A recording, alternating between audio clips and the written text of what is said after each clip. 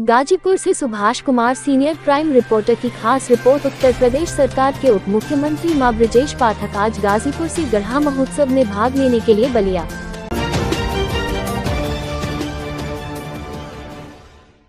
उत्तर प्रदेश सरकार के उप मुख्यमंत्री माँ ब्रजेश पाठक आज थोड़ी देर के लिए अंधु हवाई अड्डे पर रुके माँ उप मुख्यमंत्री स्व हरिशंकर राय, स्मृति विशाल गढ़ा महोत्सव में भाग लेने के लिए बलिया जनपद के भरौली जा रहे थे। माँ उप मुख्यमंत्री ब्रिजेश पाठक भागम भाग स्थिति में लगभग 15 मिनट तक हवाई पट्टी पर दो माइनस पचपन ऐसी तीन शून्य शून्य बजे तक उपस्थित रहे। भाजपा जिलाध्यक्ष भानु प्रताप सिंह के नेतृत्व में भाजपा नेताओं कार्यकर्ताओं ने उनका पुष्प गुच्छा और माल्यार्पण कर हवाई अड्डे पर उनका जोरदार स्वागत किया।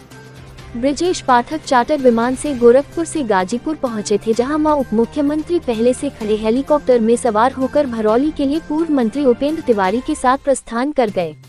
इस अवसर पर उन्होंने कहा कि जितना मीडिया द्वारा बताया जा रहा है, उतना डेंगू है नहीं। अगर पिछले वर्ष के आंकड़े पर ध्यान दे तो इस समय तक डेंगू के अठारह हज़ार मरीज़ थे, जबकि वर्तमान समय में सिर्फ़ सात हज़ार मरीज़ ही है। उन्होंने कहा कि विपक्ष केवल बधा चाह बता रहा है, डेंगू पूरी तरह से नियंत्रण में है।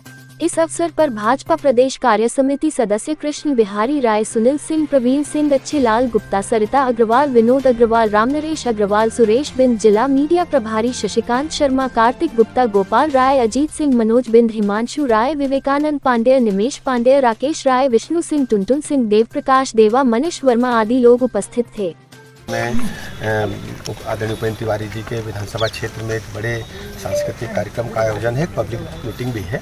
और इसके अलावा बासडी में भी हम जाएँगे। वहाँ माननीय विधायक कीर्ति सिंह के यहाँ कार्यक्रम है और दोनों में जो है पब्लिक मीटिंग है वहीं में जा रहा हूँ।